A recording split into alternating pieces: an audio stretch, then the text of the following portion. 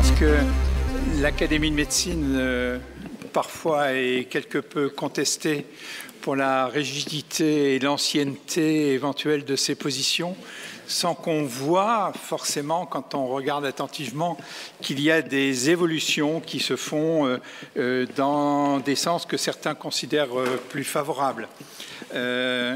Le rapport sur la cigarette électronique date de l'année dernière et il était voté quasiment à l'unanimité. Et j'étais très heureux qu'il y ait une voix contre parce que 100% euh, c'est quelque chose qui n'est pas démocratique. Et donc euh, euh, ce, ce, rapport a été réalisé. J'étais très étonné parce qu'il y a des thèmes où il y a des guerres de religion, où les gens sont prêts à se tuer dans les couloirs, y compris à l'académie. C'est assez extraordinaire. Les gens ont plutôt l'impression d'une rigidité et d'une unité de pensée, ce qui est absolument faux. Alors, il est indiqué dans le document que euh, l'Académie, c'est vrai, a été créée en 1820, mais ses statuts viennent d'être révisés quand même. Euh, ils, datent, euh, ils sont applicables depuis le 1er janvier 2015, donc nous avons des statuts un peu plus récents que l'histoire. On est 160 euh, euh, membres, plus des membres correspondants. Et on a des commissions spécialisées qui sont en cours de révision. Alors je suis très triste parce que euh, la commission addiction est rattachée à la psychiatrie, ce qui est un, un, pas en arrière qui me paraît assez monumental et que je ne m'explique pas. Mais ça, c'est un détail. Alors, sur la cigarette électronique, c'est un truc de bidouilleur de génie. C'est un truc qui n'était pas prévu que l'industrie pharmaceutique aurait dû faire et n'a pas fait. Alors ça, c'est une opinion personnelle. Quand vous regardez les publications euh, des spécialistes internationaux concernant euh, la, nicotine et la dépendance euh, au tabac, il était déjà dit à l'époque, notamment par Benovitz, qu'il y avait deux voies possibles.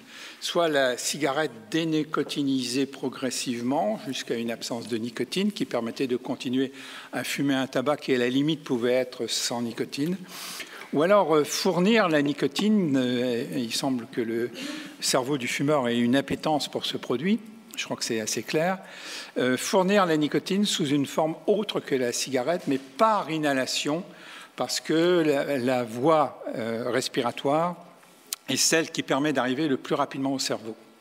Et donc, pratiquement, c'était décrit, mais je dirais le cadre législatif et réglementaire où l'industrie pharmaceutique est coincée. Bien sûr, elle cherche à gagner de l'argent, il ne faut pas se leurrer. Elle fait des produits qui sont plutôt destinés à soigner, il faut, faut quand même le dire. Et d'un autre côté, avec un cadre réglementaire particulièrement tatillon. Alors, oser développer un truc comme la cigarette électronique, je vous le dis carrément, fallait être fou. Fallait être fou dans l'industrie pour oser faire ça. Et donc, euh, finalement, c'est les fumeurs qui ont développé leurs produits, et je trouve ça particulièrement amusant et intéressant. Et je fais un parallèle avec le baclofen chez les, les alcooliques dépendants où vous avez une espèce de prise en main d'un thème de la dépendance par les dépendants eux-mêmes. Et c'est particulièrement intéressant en tous les cas.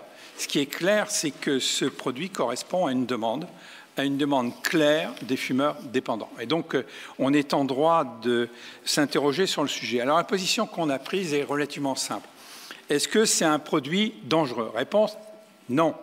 Alors, euh, euh, Bertrand n'a pas repris cette comparaison, tout au moins Bertrand Dotzenberg en ma présence, mais j'aimais beaucoup la comparaison qu'il donnait en disant bah, au pire, la cigarette électronique s'est roulée à 140 sur l'autoroute et la cigarette tabac s'est roulée à contresens.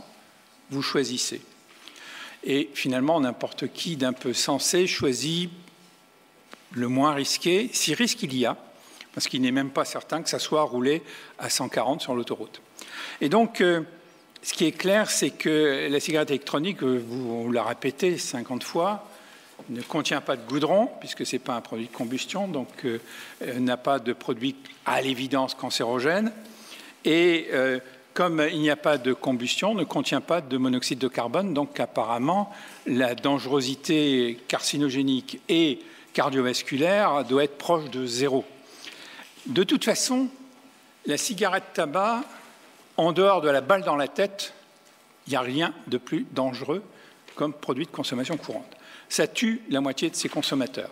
Donc par rapport à cette échelle-là, n'importe quel autre produit ne peut qu'être plus bas, et surtout s'il est très bas, eh bien, il y a une préférence très nette. Et donc, euh, les produits, alors le, glycérol et, euh, le, propylène glycol. Le propylène glycol, c'est ce qui sert à faire des brouillards euh, dans les spectacles. Je crois qu'on hésiterait un peu à exposer les spectateurs à un produit d'une dangerosité évidente. Alors, ce qui est étonnant, et euh, avec un débit continu, de manière pratiquement hebdomadaire, on a des publications inquiétantes. Et donc à chaque fois, euh, je lis un petit peu autour, mais les médias reprennent en disant on a démontré que euh, en faisant telle expérience, on trouvait des petits bidules dans les coins qui peuvent être inquiétants. Alors il y a une étude qui était extraordinaire, et là elle a été reprise par tous les médias parce que c'est flippant, ça fait peur. C'est quand on expose de une à huit semaines à, aux produits de vapotage des cellules, on constate quelques petits dommages de l'ADN. Alors là, quand on touche à la génétique, tout le monde se met à trembler. Et puis, il y a un renvoi en bas de page dans cet article que personne n'a lu, en tous les cas pas les médias, qui précisait qu'en faisant la même chose avec la fumée de tabac, toutes les cellules étaient tuées en moins de 24 heures. Donc, euh, les gens flippaient pour euh, quelques petits dommages d'ADN dans des conditions absolument euh, abracadabrantesques, pour reprendre une expression bien connue. Et personne n'a repris que la fumée de tabac tuait tout en une journée. Donc euh, là, on voit très bien le gradient de, risque à ce, niveau-là. Alors, déjà, quand on a euh, préparé notre rapport, la Haute Autorité de Santé disait que bah, un fumeur qui a décidé d'utiliser la cigarette électronique, il ne faut pas le dissuader et euh, qu'il continue en lui donnant la préférence, en disant il vaut mieux faire un switch complet et abandonner complètement la cigarette, c'est la meilleure des choses. Et là, je partage l'avis. J'ai euh, présidé un groupe de travail il y a déjà pas mal de temps sur la réduction du risque tabagique. Et très clairement, à la différence de l'alcool, quand vous prenez un verre au lieu de trois verres, vous diminuez la quantité de produits toxiques. Si vous diminuez le nombre de cigarettes, un fumeur de 20 cigarettes peut avoir sa dose de nicotine et de goudron avec 5 et donc, euh, on a une situation où, à l'évidence, la dangerosité n'est pas liée à la quantité qui est, fumée. Alors, une chose qui est plus intéressante, c'est qu'il y a un point commun entre Sarkozy et Hollande. Ils ont été nuls sur la taxation du tabac. Donc là, vraiment, ils l'ont dit clairement et ils l'ont appliqué.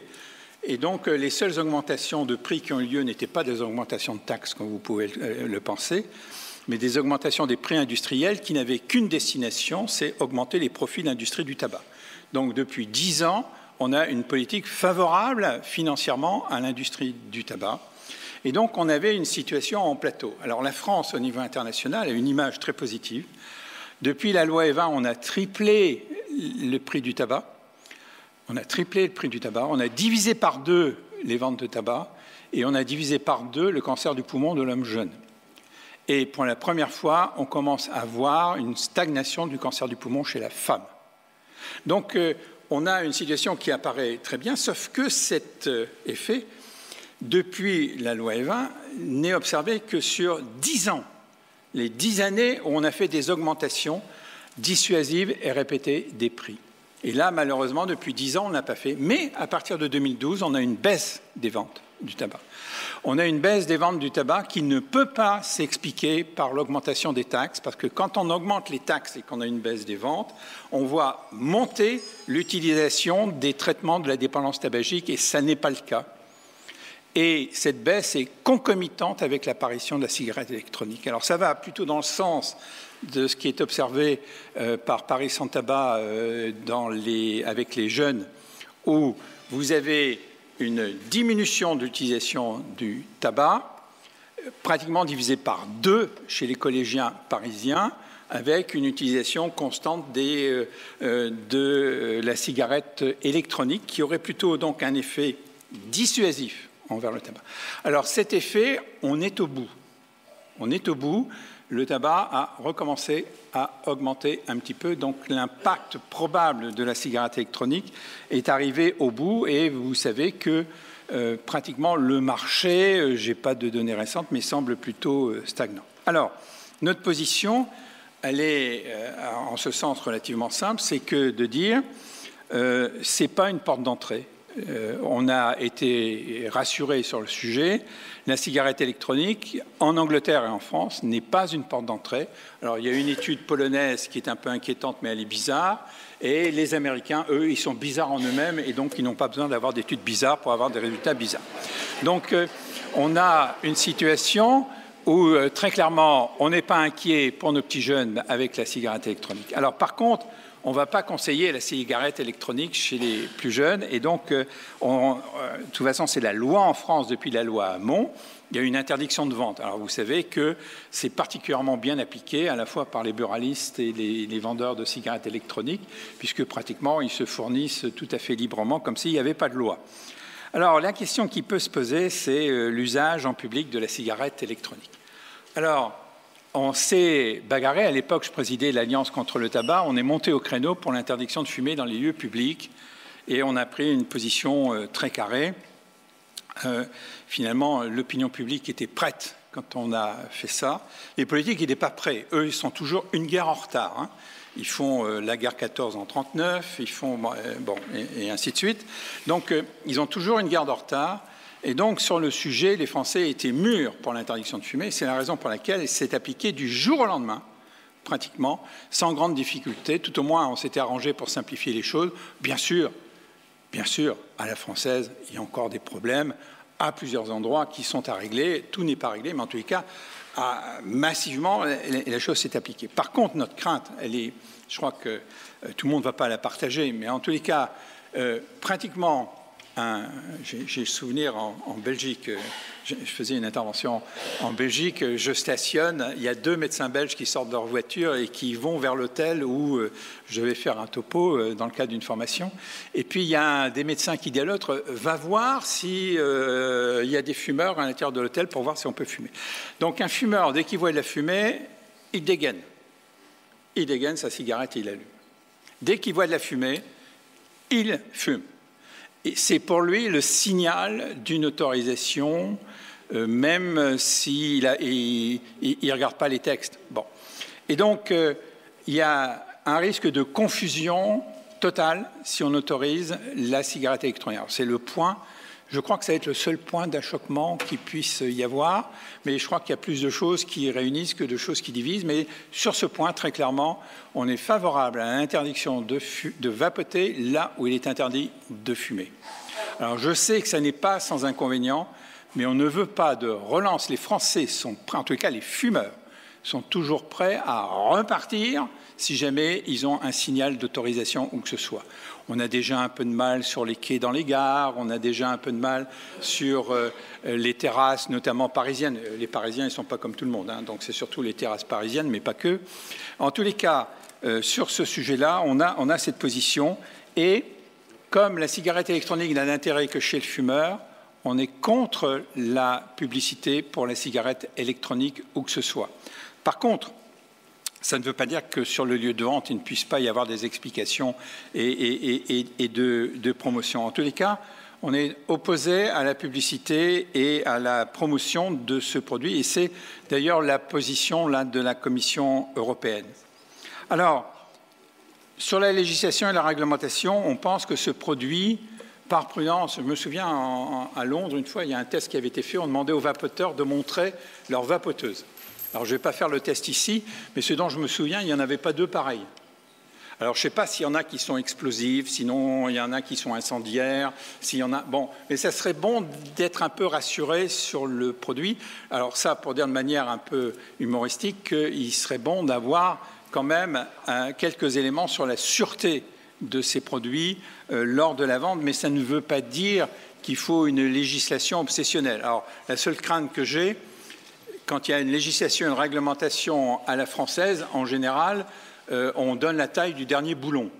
Alors ça, c'est un peu, un peu dangereux, mais en tous les cas, ça me paraît clair que pour un produit de consommation courante, ce serait bon que sur la sûreté du produit, il y ait euh, euh, une, quelque chose. Alors là, on va un peu plus en avant, et j'ai entendu personne en parler. On est partisan d'une cigarette électronique médicament. Alors, comprenez-moi bien, ce n'est pas la cigarette électronique telle qu'elle est, celle-là, on est pour. Mais on propose d'aller plus loin avec des doses en nicotine plus élevées, plus élevées qui, elle, serait sur prescription médicale et avec dispensation en pharmacie. C'est-à-dire en faire un instrument de substitution nicotinique vrai sur prescription médicale. Et donc, euh, et là, ce n'est plus un objet de consommation courante, ça peut être le même objet, mais en tout cas, les concentrations en nicotine sont celles qui dépassent les limites autorisées en tant qu'objet de consommation courante par la Commission européenne et en faire un produit médicamenteux vrai qui pourrait être utilisé de cette façon-là. Alors, euh, on a une situation, je ne vais pas entrer dans les détails, mais la loi euh, du 26 janvier 2016 interdit la propagande ou la publicité, directe ou indirecte. Elle interdit le parrainage, le mécénat. Elle interdit le vapotage dans certains lieux où il est interdit de fumer, mais pas tous. C'est là où on a une petite différence. Elle demande la preuve de majorité à la vente. On sait très bien qu'on ne l'aura pas. Et je ne vais pas parler de l'avis du Haut Conseil de santé publique, puisque son président en parlera tout à l'heure, mais il est postérieur à la loi, et donc euh, il y a même quelques évolutions intéressantes. Alors, euh, ce, que je peux dire en conclusion, c'est un produit qui a été mis au point au début par des amateurs talentueux, et l'engouement des fumeurs a rendu tout retour en arrière impossible. La Commission européenne a essayé d'en faire un médicament, et finalement, c'est la réaction des utilisateurs qui a rendu cette évolution impossible. Elle s'est imposée sur un marché qui s'est rapidement développé. C'est un des marchés qui s'est les plus rapidement développé, avec les difficultés d'ailleurs que ça cause sur le plan économique, parce qu'en général, on dépasse le point d'équilibre par euh, inertie. Malgré des remises en cause médiatisées mais mal fondées, la toxicité de la cigarette électronique est bien plus faible que celle de la fumée de tabac. Ça, c'est vraiment clair elle ne participe pas à une initiation au tabagisme des enfants et adolescents sur le plan collectif, bien que ça puisse être le cas individuellement sur quelques-uns de ces enfants ou adolescents. Elle est quasi exclusivement utilisée par des fumeurs ou anciens fumeurs qui craignent de récidiver. Son efficacité dans l'arrêt du tabac semble s'affirmer et elle a contribué, au moins en France et en Angleterre, à une baisse des ventes de tabac. C'est donc un élément positif dans la lutte contre le tabagisme. Une législation, de réglementation en cours de mise en place sont cependant nécessaires pour garantir la sécurité des produits, qui est plébiscitée par les fumeurs, et moduler son utilisation. La cigarette électronique est donc utile à la réduction de la mortalité et de la morbidité due au tabac. Alors pour ceux qui ont la trouille, je vais donner une dernière citation elle est de Descartes, et elle pourra vous surprendre parce que Descartes, le cartésianisme, c'est des choses qui sont absolument carrées, il faut être sûr de tout et surtout euh, avoir peur de son ombre. Il a dit Attendre d'en savoir assez pour agir en toute lumière, c'est se condamner à l'inaction. Dixit Descartes, eh bien, je crois que je ne suis pas partisan et l'Académie de médecine en ce domaine n'est pas partisane de l'inaction. Je vous remercie.